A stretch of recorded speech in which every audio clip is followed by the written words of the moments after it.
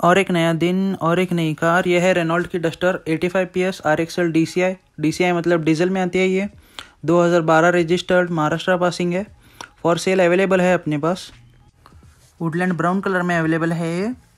Fourteen hundred sixty one C का D C I four cylinder engine आता है इस कार में, जो मैक्स पावर डिलीवर करता है eighty three B H P at three thousand seven fifty R P M and max torque है two hundred newton meter at nineteen hundred R P M five speed manual gear box front wheel drive में आती है ये car.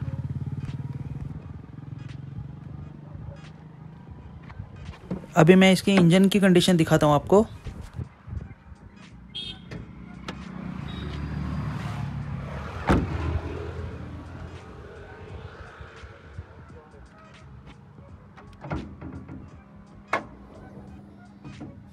देख सकते हैं guys engine की condition अच्छी मेंटेन की है, न्यू बैटरी लगी है इसमें।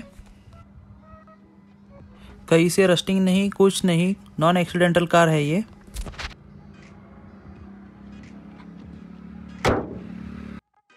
अभी इसका इंटीरियर दिखाता हूँ आपको।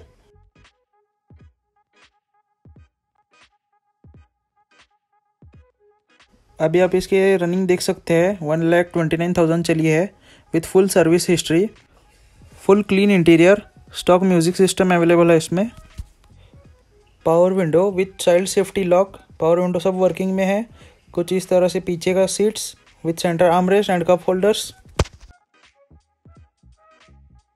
अभी स्टार्ट करके दिखाता हूँ।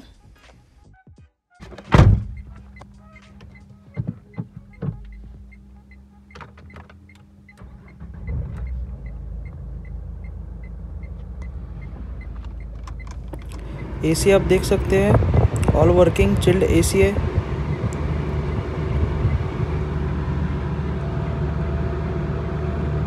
अभी आपको इसका स्मोक कलर दिखाता हूँ। ज़्यादातर गाड़ियों में ब्लैक स्मोक का प्रॉब्लम आ जाता है।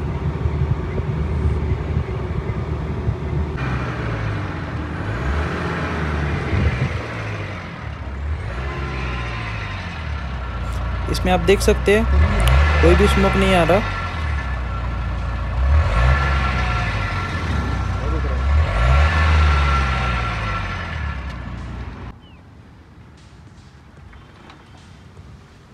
अभी आपको इसकी पैसेंजर सीट्स दिखाता हूँ। कुछ इस तरह से इसकी passenger seat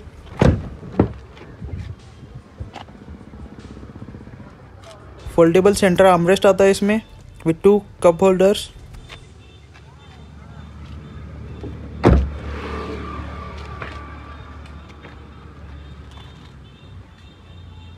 main जो डस्टर फ़ेमस है, वो इसके बूट स्पेस के लिए।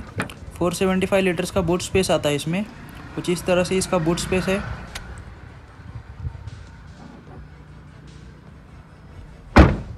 रियर में पार्किंग सेंसर्स अवेलेबल है इसमें। R X L D C I की बैचिंग मैगविल्स भी अवेलेबल है विथ ग्रीन कलर के डिस्क कैलिबर्स ये कस्टम करवाए हैं हमने। ये कंपनी में से नहीं आते। आप इसकी बॉडी लाइन देख सकते हैं। कहीं पर भी कुछ स्क्रैच नहीं डेंट नहीं, कुछ नहीं।